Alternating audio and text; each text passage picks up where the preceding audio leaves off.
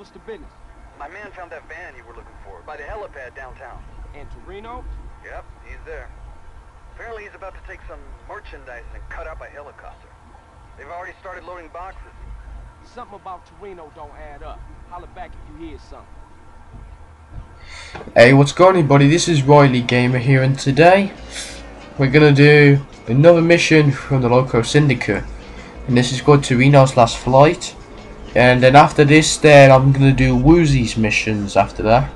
So yeah, and make sure that you leave a like on this video and also subscribe for some more daily videos because I'm now back now anyway, because I'm not ill anymore anyway. So Yeah, I'm gonna take care of those guys. Okay, I'm also gonna take out the rocket launcher guy for king. Okay, you know what? I'm gonna try it. Yeah, try there. Okay, I got it. I got it.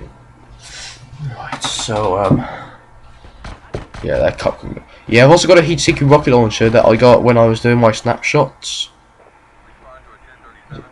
Yeah, because I'm gonna use that instead of the actual normal rocket launcher. And now let's now let's watch this. If, okay, no, no, don't aim at the bike. One. Yeah, I'm gonna use two for this.